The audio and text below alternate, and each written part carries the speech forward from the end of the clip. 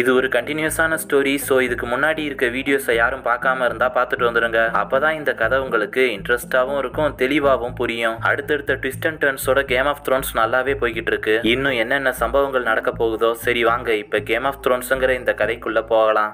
ஒரு கதை சொல்லிட்டேன் சார் போன எபிசோடோட கண்டினியூஷனாக தான் இந்த எபிசோடு ஸ்டார்ட் ஆகுது. ஜான் ஸ்னோ கண்ணு முழிக்கிறான். ரொம்ப தூரம் ஓடிட்டு வந்துனா நம்ம எப்படி மூச்சு வாங்கிட்டு இருப்போம்? அதே மாதிரி தான் ஜான் ஸ்னோ மூச்சு வாங்கிட்டு இருக்கான். சத்தத்தை கேட்டு டேவோஸ் உள்ள வந்துடுறாரு. ஜான் ஸ்னோ தட்டு தடு மாதிரி எந்திரிக்கிறான். அவன் விழுகிற மாதிரி போறான். டேவோஸ் அவனை தாங்கி பிடிச்சு அவன் மேல துணியை பொத்துறாரு. இந்த சத்தத்தை கேட்டு மெலிசாண்ட்ரேவும் உள்ள வந்துடுறா. அவ ரொம்ப ஆச்சரியமா பாத்துக்கிட்டு இருக்கா. அவ ஜான் ஸ்னோ கிட்ட வந்து நீ இறந்ததுக்கு அப்புறம் எங்க போன? எதை பார்த்தேன்னு கேட்க? ஜான் ஸ்னோ அதுக்கு நான் எதையுமே பார்க்கல. நான் எங்க இருந்தேனே எனக்கு தெரியலன்னு சொல்றான். மெலிசாண்ட்ரே அவன் கிட்ட கடவுள் உன்னை திரும்ப கொண்டு வந்ததுக்கு ஏதோ ஒரு காரணம் இருக்கணும் அப்படின்னு சொல்லிக்கிட்டு இருக்கா. டேவோஸ் நாங்க தனியா பேசணும்னு சொல்றாரு. மெலிசாண்ட்ரே அங்க இருந்து போறான் டேவோஸ் டான்ஸ்னோ கிட்ட இங்க நடந்த எல்லாத்தையும் பார்த்தா எனக்கு முட்டாள்தனமா தோணுது. இதை யாருமே நம்ப மாட்டாங்க. நம்ப முடியாத விஷயங்கள் தான் இங்க நடந்திருக்கு. என்னோட எண்ணங்களை விட. இப்ப நீ என்ன நினைக்கிறங்கிறது தான் முக்கியம். நீ என்ன பண்ண போறேன்னு கேட்க ஜான்ஸ்னோ நான் தோத்துட்டேன்னு சொல்றான். டேவோஸ் அதுக்கு தோக்குறது நம்ம தப்பு கிடையாது. முயற்சி செய்யாம இருக்கிறது தான் நம்மளோட தப்பு. மறுபடியும் வெளியே போ. மறுபடியும் தோத்து போ ஆனா முயற்சி பண்றதை விடாதன்னு சொல்றாரு. ஜான்ஸ்னோ லார்ட் கமாண்டருக்கான ட்ரெஸ்ஸை போட்டுட்டு வெளியே வர்றான். அங்க இருக்கிற ஒயிலிங்ஸ் நைட் வாட்ச் வீரர்கள் எல்லாருக்குமே என்ன நடக்குதுன்னே புரியல. செத்தவன் எப்படி உயிரோட வந்தான்னு பாத்துக்கிட்டு இருக்காங்க.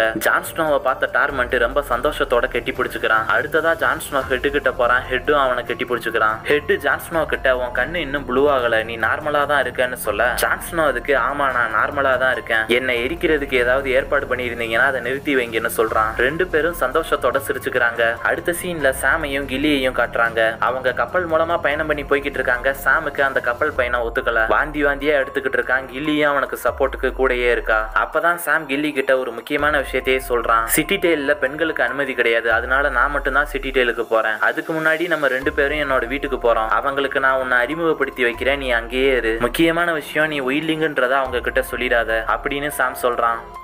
அடுத்த சீன்ல நம்ம இது வரைக்கும் பார்க்காத ஒரு புது ஆளை காட்டுறாங்க. அவனுக்கு அடுத்ததா பிரானையும் த்ரீ எயிட் ரெவனையும் காட்டுறாங்க. அவங்க இப்ப பாஸ்ட்ல இருக்காங்க. புதுசா இருக்கிற இந்த ரெண்டு பேரும் டர்கேரியன் அரசாங்கத்துல கிங்ஸ் கார்டா இருக்கிறவங்க. அவங்க அந்த கோட்டைக்கு வெளியே உட்காந்துக்கிட்டு இருக்காங்க. அப்ப நெட் ஸ்டார்க்கும் ஜோஜனோட அப்பாவும் அங்க வர்றாங்க. புதுசா ரெண்டு பேரை காட்டினாங்களே அதுல ஒருத்தன் பேரு ஆர்த்தர் பிரான் ஆர்த்தரை பார்த்துட்டு எங்க அப்பா தான் இது வரைக்கும் சந்திச்சதுல இவன் தான் சிறந்த வாழ்வீச்சு வீரன்னு சொல்லியிருக்காரு. அப்படின்னு சொல்றான் ஆர்த்தரும் சின்ன வயசு நெட் ஸ்டார்க்கும் பேசிக்கிறாங்க. நெட் ஸ்டார்க் ஆர்த்தர் கிட்ட மேடி கிங் ரேகார் ரெண்டு பேருமே விழுந்துட்டாங்க. நீங்க உங்களோட ராஜாக்களுக்கு பாதுகாப்பு கொடுக்காம இங்க என்ன பண்ணிக்கிட்டு இருக்கீங்கன்னு கேட்க ரேகார் எங்களை இங்கதான் பாதுகாப்புக்கு இருக்க சொன்னாருன்னு ரெண்டு பேரும் சொல்ல நெட் ஸ்டார்க் அவங்களுக்கு பின்னாடி இருக்கிற கட்டடத்தை பாக்குறாரு பாதுகாக்கிற அளவு அளவுக்கு உள்ள என்ன இருக்குன்னு யோசிக்கிறாரு. என்னோட சிஸ்டர் எங்கன்னு நெட் ஸ்டார் கேட்க ஆர்த்தர் அதுக்கு வரப்போற போருக்கு வாழ்த்துக்கள். அந்த போர் இப்ப தொடங்கியாச்சுன்னு ஆர்த்தர் சொல்றான். நெட் ஸ்டார்க் அதுக்கு தப்பா சொல்ற? அந்த போர் இப்ப முடிய போகுதுன்னு சொல்லிட்டு தன்னோட வாள் எடுத்து சண்டைக்கு தயாராகிறாரு. சண்டை ஆரம்பிக்குது. மீராவோட அப்பாவுக்கு ஸ்டார்டிங்லேயே அடிபட்டுருது. அவர் கீழே விழுந்துடுறாரு. நெட் ஸ்டார்க் தான் பார்த்ததுலேயே சிறந்த வாழ்வீச்சு வீரன் ஆர்த்தர் தான் சொல்லியிருப்பாரு. அவன் சண்டை போடுறத பார்த்தா அது உண்மைதாங்கிற மாதிரி தோணுது. தன்னோட ரெண்டு கையிலயும் ரெண்டு வாழை வச்சுட்டு சண்டை போடுறான். நெட் ஸ்டார்க் ஆர்த்தர் கூட இருந்த இன்னொருத்தனை கொண்டுறாரு ஆர்த்தர் ஒருத்தர் மட்டும் இப்ப தனியா இருக்கான். அவன் தனியா சண்டை போட்டாலும் அங்க இருக்க எல்லாரையுமே சமாளிக்கிறான் கொஞ்ச நேரத்திலே ஒவ்வொருத்தரா கொண்டு முடிக்கிறான். கடைசியில நெட்ஸ்டாருக்கும் ஆர்த்தரும் ஒன் விசஸ் ஒன் போடுறாங்க.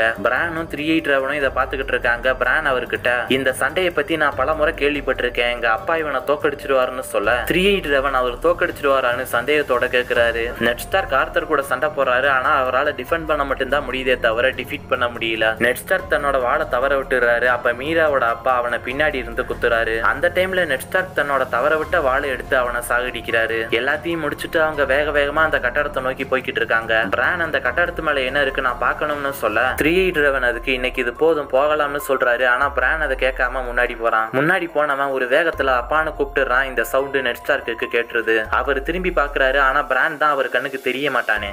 நெட் ஸ்டார்க் மேல போறாரு. பிரானும் ஃபாலோ பண்ணியே போறான். அப்ப த்ரீ ட்ரெவன் அவன் முன்னாடி வந்து அவனை நார்மல் உலகத்துக்கு கொண்டு வர்றாரு. பிராண்ட் த்ரீ ட்ரெவன் கிட்ட நான் பேசுனது எங்க அப்பாவுக்கு கேட்டுச்சுன்னு சொல்ல. த்ரீ ட்ரெவன் அதுக்கு இல்ல அவருக்கு வேற ஏதாவது காத்து சத்தம் கேட்டிருக்கும்னு சொல்றாரு. கடந்த காலம் எழுதப்பட்டுருச்சு அதை மாத்த முடியாதுன்னு சொல்ல பிராண்ட் அவர்கிட்ட என்ன எதுக்காக திரும்ப கொண்டு வந்தீங்கன்னு கேட்க நீ அங்கேயே இருந்தா அங்கேயே மாட்டிக்குவேன்னு சொல்றாரு. பிராண்ட் அதுக்கு நான் எதுக்காக திரும்ப வரணும்? இந்த ஊனமுற்ற உடம்புல இருக்கிறதுக்கு நான் அங்கேயே இருப்பேன்னு சொல்ல. த்ரீ ட்ரெவன் அதுக்கு நான் ஆயிரம் வருஷமா இந்த மரத்துக்குள்ள உட்காந்துக்கிட்டு இருக்கிறது யாருக்காக நினைச்ச? உனக்காக. நான் உனக்காக தான் காத்துக்கிட்டு இருந்தேன்னு சொல்ல பிரான் அதுக்கு. நான் உங்களை மாதிரி ஆக விரும்பலன்னு சொல்ல த்ரீ த்ரீ டிராவன் நீ என்ன மாதிரி ஆக போறது கிடையாது. நீ இதே இடத்துல அடைஞ்சு கிடக்க போறதும் கிடையாது. நீ இங்க இருந்து வெளியே போக வேண்டிய நாள் வரும். அதுக்கு முன்னாடி நீ கத்துக்கணும். எல்லாத்தையும் கத்துக்கணும்னு சொல்றாரு. அடுத்த சீன்ல டெனேரிஸ கட்டுறாங்க. டத்ராக்கி கூட்டம் எல்லாமே அவங்களோட சொந்த இடத்துக்கு வந்து சேர்றாங்க. ஈசோஸ் முழுக்க டத்ராக்கிகள் எங்க வேணாலும் இருப்பாங்க. ஆனா கடைசியில அவங்க சொந்த இடத்துக்கு வந்துருவாங்க. நிறைய மக்கள் நிறைய கூடாரங்கள்னு அது ஒரு பெரிய சிட்டி மாதிரி இருக்கு. டெனேரியஸ விதவைகள் எல்லாரும் இருக்கிற இடத்துக்கு கூட்டிட்டு போறாங்க. அங்க டெனேரியஸுக்கு வேற ட்ரெஸ் கொடுக்கப்படுது. நான் யார் யாருன்னு தெரியாம என்ன பிடிச்சிட்டு வந்துட்டீங்க. நீங்க தப்பு பண்ணிக்கிட்டு இருக்கீங்கன்னு டெனேரியஸ் சொல்ல அங்க இருக்கிற சீனியர் ஒருத்தங்க நீ யாருன்னு எங்களுக்கு தெரியும். நீ அந்த குதிரையோட இதயத்தை முழுசா சாப்பிட்டப்ப நாங்களும் அங்க இருந்தோம். கால் ரேகோ இறந்த உடனே நீங்க வந்திருக்க வேண்டியதானே? நீ லேட்டா வந்துட்ட.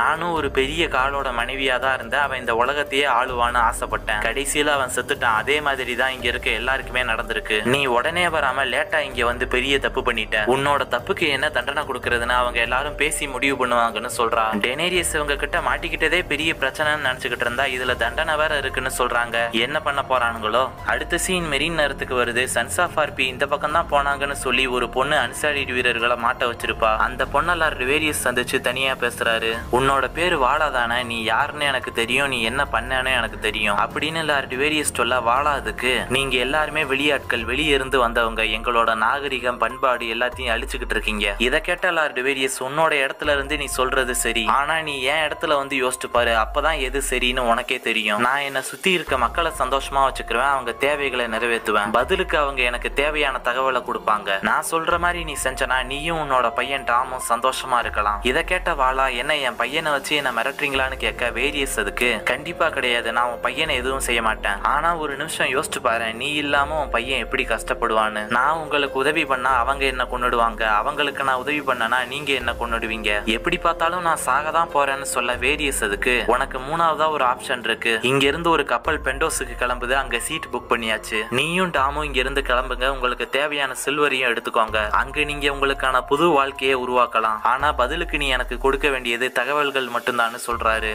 அடுத்த சீன்ல மீட்டிங் ஏற்பாடு பண்ணிருக்காங்க அந்த இடத்துக்கு லார்ட் வேரியஸ் லேட்டா வர்றாரு. அவர் வாலா கூட பேசிக்கிட்டு இருந்ததுனால தான் லேட்டா வர்றாரு. வாலா கிட்ட தெரிஞ்சுக்கிட்ட விஷயத்த அவர் எல்லாருக்கிட்டையும் சொல்றாரு. சன்ஸ் ஆஃப் ஆர்பிக்கு ஒன்காய் ஆஸ்டபோர்ல இருக்க மாஸ்டர்ஸ் கிட்ட இருந்து தான் நிதி உதவி கிடைக்குது. மாஸ்டர்ஸோட ஃப்ரெண்ட்ஸ் சில பேர் வலாண்டர்ஸ்ல இருக்காங்க. அவங்களும் சன்ஸ் ஆஃப் ஆர்பிக்கு உதவி பண்றாங்க. இதை கேட்ட டெரியன் ஒன்காய் ஆஸ்டபோர்ஸ்ல இருக்க லிட்டில் பேர்ட்ஸ் மூலமா ஏதாவது தகவல் கிடைக்குதான்னு பாருங்க. அவங்க உங்களுக்கு உண்மையா இருப்பாங்களான்னு கேட்க லார்ட் வேரியஸ் அதுக்கு நான் மனுஷங்களை கூட நம்ப மாட்டேன். ஆனா என் லிட்டில் பேர்ட்ஸை முழுசா நம்புவேன். அவங்க எனக்கு தேவையான விஷயங்களை சொல்லுவாங்கன்னு சொல்றாரு. அடுத்த சீன் கிங்ஸ் லேண்டிங்க்கு வருது. கொய்பன் நிறைய குழந்தைகளுக்கு சாப்பாடு அப்புறம் அவங்களுக்கு தேவையான பொருட்கள் எல்லாத்தையும் கொடுக்கறாரு. இந்த குழந்தைங்களை தான் லார்ட் வேரியஸ் லிட்டில் பேர்ட்ஸ்னு சொல்லியிருப்பாரு. கொய்பன் அவங்க எல்லாருக்கிட்டையும் நல்ல விதமா பேசி அவங்களுக்கு ஃபேவரா நடந்துக்க வைக்கிறாரு. அந்த இடத்துக்கு செர்சி மவுண்டன் ஜேமி மூணு பேரும் வர்றாங்க. கொய்பன் குழந்தைங்க எல்லாத்தையும் அங்கிருந்து அனுப்பிடுறாரு. செர்சி கொய்பன் கிட்ட கிங்ஸ் லேண்டிங்ல இருக்க லிட்டில் பேர்ட்ஸ் மட்டும் போதாது. எல்லா நாட்டிலையும் எல்லா நகரத்திலையும் இருக்கிற லிட்டில் பேர்ட்ஸும் நமக்கு தேவை. அப்பதான் நம்ம எதிரிகள் எங்க இருந்து என்ன திட்டம் போட்டாலும் நமக்கு தெரிஞ்சு தெரிஞ்சிரும்னு சொல்றா. கொய்பனும் அதுக்கு சரின்னு சொல்றாரு. அடுத்ததா அவங்க மூணு பேருமே ஸ்மால் கவுன்சில் மீட்டிங் நடக்கிற இடத்துக்கு வர்றாங்க.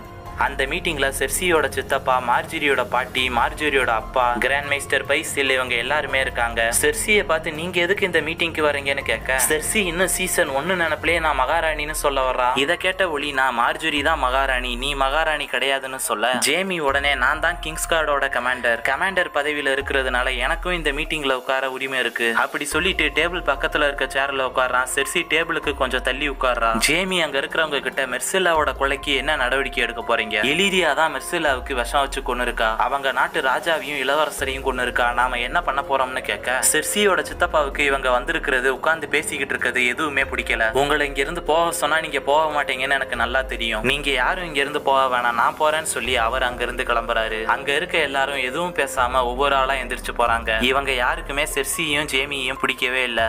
அடுத்த சீன்ல டாம் அண்ட் ஹைஸ்பேரோவை சந்திக்கிறான். மெர்சில்லாவோட சமாதியை கூட செர்சி பார்க்க கூடாதுன்னு தடுத்து வச்சிருக்காங்க. எங்க அம்மாவை அந்த இடத்துக்கு போக அனுமதிங்கன்னு டாமன் கேட்க ஹைஸ்பேரோ அதுக்கு இல்ல மகாராஜா உங்க அம்மாவுக்கு இன்னும் தண்டனை முடியல. இந்த வார்த்தையை கேட்டதும் டாமன் ரொம்ப கோவமா எங்க அம்மாவுக்கு சாப்பாடு தண்ணி கொடுக்காம ரூம்ல அடைச்சு வச்சீங்க முடிய விட்டுனீங்க. ட்ரெஸ்ஸே இல்லாம வீதியில நடக்க வச்சீங்க இன்னுமா தண்டனை முடியல? நான் மகாராஜா நான் சொல்றது நடக்கணும்னு சொல்லி டாமன் கோவப்படுறான். ஃபெய்த் மில்டனோட ஆட்களும் டாமனோட ஆட்களும் கிட்டத்தட்ட சண்டை போடுற மாதிரி வந்துட்டாங்க. ஐஸ்பேரோ ஃபெய்த் மில்டனை பின்னாடி பின்னாடி போக சொல்ல டாமனும் தன்னோட ஆட்களை பின்னாடி போக சொல்றான். அதுக்கப்புறம் ஹைஸ்பரோ டாமன் கிட்ட பேசுறாரு. உன்னோட அம்மா நிறைய தப்பு பண்ணிருக்கலாம் ஆனா அவகிட்ட ஒரே ஒரு உண்மையான விஷயம் இருந்துச்சு. அது அவங்க உன் மேல வச்சிருந்த அன்பு. அந்த அன்புக்காக தான் பாதி தண்டனையிலேயே அவங்கள உன் கூட அனுப்பி வச்சேன். இந்த மாதிரி ஹைஸ்பரோ டாமன் கிட்ட நிறைய பேசுறாரு. அவர் பேசுறாருன்னு சொல்றத விட நல்லா பிரெயின் வாஷ் பண்றாரு.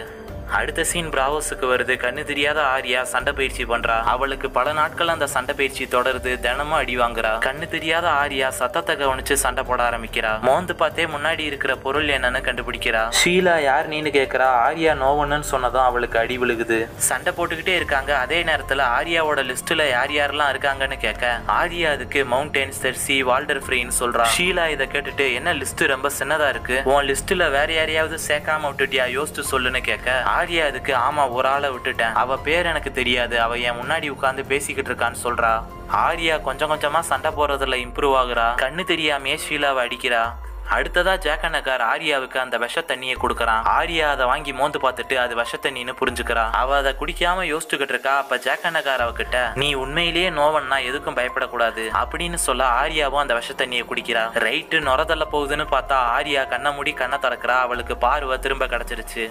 அடுத்த சீன் விண்டர்ஃபில்லுக்கு வருது. லார்ட் அம்பர் ராம்சேவை சந்திக்கிறாரு. அவருக்கு ஜான் ஸ்னோ ஒயிட்லிங்ஸை உள்ள விட்டது பிடிக்கல. உள்ள அந்த ஒயிட்லிங்ஸ் ஃபர்ஸ்ட் எங்களை தான் தாக்குவாங்க. என்னால தனியா அவங்கள சமாளிக்க முடியாது. அதனால தான் உங்ககிட்ட உதவி கேட்டு வந்தேன்னு சொல்ல. ராம்சே அதுக்கு அப்ப என் முன்னாடி மண்டி இட்டு எனக்கு வாக்கு கொடு. அப்பதான் உன்னை நம்புவேன்னு சொல்ல. லார்ட் அம்பர் அதுக்கு என்னாலலாம் மண்டியிட முடியாது. உன்னோட அப்பாவும் ராப்ஸ்டார்க்கு மண்டி இட்டு வாக்கு கொடுத்தாரு. ஆனா கடைசியில அவர் துரோகம் தானே பண்ணாரு. எனக்கு வாக்கு கொடுக்கறதுலலாம் நம்பிக்கை கிடையாது. ஆனா அதுக்கு பதிலா உனக்கு கிஃப்ட் கொடுக்குறேன்னு சொல்லி ரெண்டு பேரை கூட்டிட்டு வர்றான். அவங்க முகத்தை மூடி வச்சிருக்கிறாங்க. மொத ஆள் யாருன்னு பார்த்தா ஓஷா. அப்ப அடுத்த ஆள் யாருன்னு உங்களுக்கே தெரிஞ்சிருக்கும். அது ரெக்கான் தான். ராம்சே ரெக்கானை பார்த்துட்டு இது ரெக்கான் ஸ்டார்க்கு தானு நான் எப்படி நம்புறதுன்னு கேட்க லார்ட் அம்பரோட ஆள் ஒருத்தன் ரெக்கானோட ஓனாய் தலையை கொண்டு வர்றான். அதை வச்சு இது ரெக்கான் ஸ்டார்க்கு தானு ராம்சே கன்ஃபார்ம் பண்றான். நம்ம எதிரிகளுக்கு வேண்டப்பட்ட ஒரு ஆள் நம்ம கிட்ட பணைய கைதியா கிடைச்சிட்டான்னு சந்தோஷப்பட்டுட்டு சிரிச்சுக்கிட்டே ரெக்கானை பார்த்துட்டு வெல்கம் ஹோம்னு சொல்றான். ரெக்கானும் ஓஷாவும் எப்படி லார்ட் அம்பர் கிட்ட மாட்டினாங்கன்னு நீங்க யோசிக்கலாம். பிராண்ட் ரெக்கானையும் ஓஷாவையும் லார்ட் அம்பர் கிட்ட போங்கன்னு சொல்லி தான் அனுப்பி வச்சிருப்பான் அவங்க நமக்கு ரொம்ப விசுவாசமானவங்க அங்க இவங்க பாதுகாப்பா இருப்பாங்கன்னு தான் அனுப்பி வச்சிருப்பான். ஆனா இங்க இருக்கானே லார்ட் அம்பர். இவனுக்கு முன்னாடி இவனோட அப்பா இருந்திருப்பாரு. அவர் தான் ஸ்டார்க் ஃபேமிலிக்கு விசுவாசமா இருந்தாரு. அவர் இறந்ததுக்கு அப்புறம் அவரோட பையன் வந்துட்டான். அவன் தான் இப்ப ரெக்கானியும் ஓஷாவையும் இங்க கூட்டிட்டு வந்திருக்கான். அடுத்த சீன் கேஸ்டல் பிளாக்குக்கு வருது. ஹெட் ஜான்ஸ்னோ கிட்ட வந்து நேரமாச்சுன்னு சொல்ல. ஜான்ஸ்னோ தன்னோட வாழை எடுத்துட்டு வெளியே வர்றான். எல்லாரும் அவனுக்கு வெயிட் பண்ணிக்கிட்டு இருக்காங்க.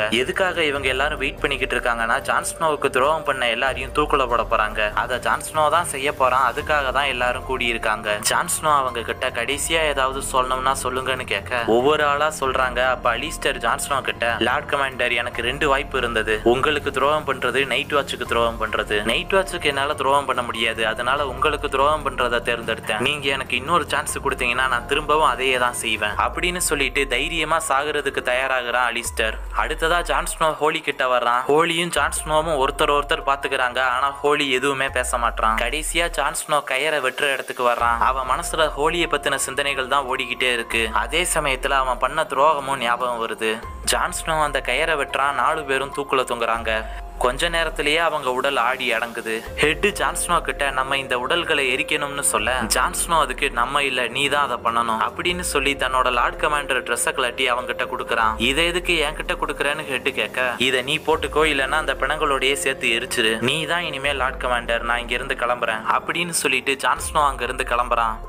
அவன் போகும்போது நவ் மை வாட்சி சென்டுன்னு சொல்லிட்டு போறான். அதுக்கு என்ன அர்த்தம்னா என்னோட வேலை முடிஞ்சிருச்சுன்னு ஜான்ஸ்னோ சொல்றான். அவங்க ஏத்துக்கிட்ட உறுதிமொழி என்னன்னா நான் சாகுற வரைக்கும் நைட் வாட்ச்ல இருப்பேங்கிறது தான். ஜான்ஸ்னோ தான் ஆல்ரெடி செத்துட்டானே அதனால அந்த உறுதிமொழி முடிஞ்சிருச்சு. ஜான்ஸ்னோ அங்க இருந்து கிளம்புறான் இதோட இந்த எபிசோடு முடியுது. ரெக்கான் ராம்சே கிட்ட மாட்டிக்கிட்டான் ஜான்ஸ்னோவும் கேஸ்டல் பிளாக்கை விட்டு கிளம்புறேன்னு சொல்றான். ஜான்ஸ்னோவை தேடி சான்சா வேற வந்துகிட்டு இருக்கா. ஆரியாவுக்கு வேற திரும்ப கண்ணு வந்துருச்சு. இவங்க எல்லாரும் இனி என்னென்ன பண்ண போறாங்கன்னு அடுத்தடுத்த எபிசோட்ல பார்க்கலாம். தொடர்ந்து சப்போர்ட் பண்ணுங்க ஃப்ரெண்ட்ஸ் உங்க சப்போர்ட்டை நம்பி மட்டும்தான் இந்த சேனல்.